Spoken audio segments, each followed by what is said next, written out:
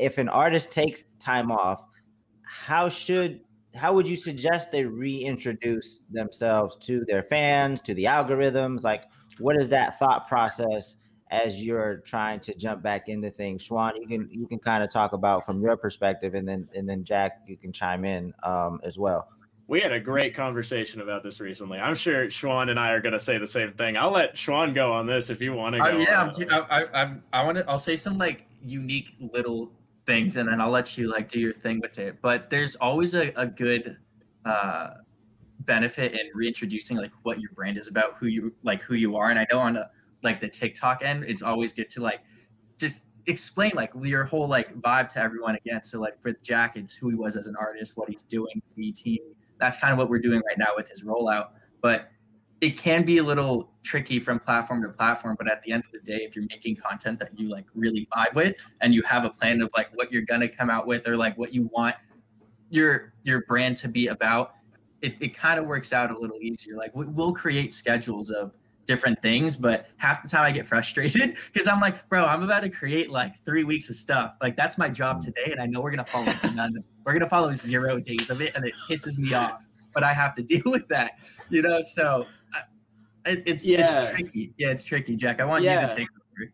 And then you know, so you asked uh, on top of like, what's it like coming back? Like, how should someone come back? So I guess one thing I'll clarify about my time away is like, um, as much as it was a hiatus from being public, it was actually probably the hardest I've worked in a long time. Like for example, like I picked up instrumental music that I I'd never done instrumental music in my life, and in that six months, I learned how to do literally the entirety of a song composition wise. Or like we were working on because the last time I was on TikTok, um, I was working 18, 19 hour days all day just talking to people on the app because I just wanted people to feel heard and feel loved and stuff. And I realized like I can't do this alone. So the entire six months, on top of the other stuff I won't touch on yet, I'll touch on at a later date, the personal stuff.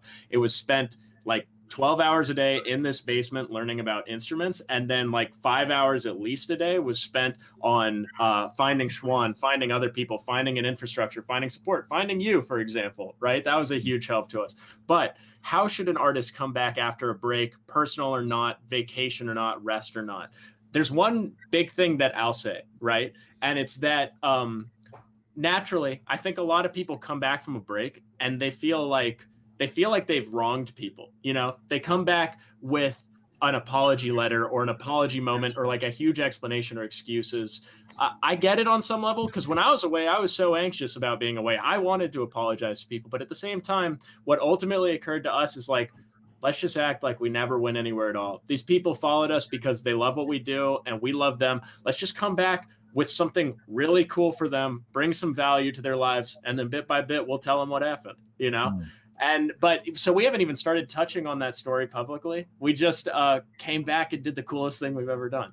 yeah, that, that's something we don't we don't really talk about often. Like I I met Jack, and you would think like instantly, oh, one of the highest performing independent creators meets a really uh, like established TikTok strategist. They're gonna instantly just make things happen, right? Like content's gonna go crazy.